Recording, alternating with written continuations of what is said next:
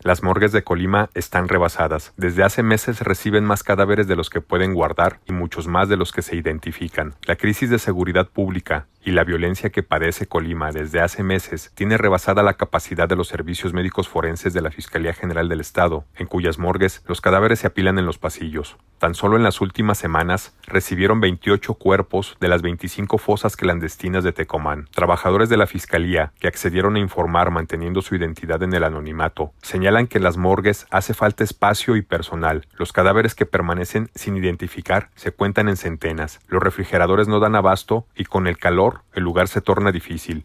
En este contexto, son atendidos los familiares de las víctimas de la violencia, quienes se convierten en un número de las listas de espera de análisis y pruebas que parecen interminables. En Colima hay más de 550 cadáveres en espera de ser reclamados. 395 fueron enviados a la fosa común sin ser identificados. La crisis forense que padece el Estado pone en riesgo la identificación y resguardo de los cuerpos y dificulta la entrega a sus familiares. De acuerdo con el gobierno federal, la emergencia forense se debe a la falta de infraestructura, de personal, de recursos, de cementerios forenses y de protocolos homologados para la identificación, conservación y entrega de cadáveres.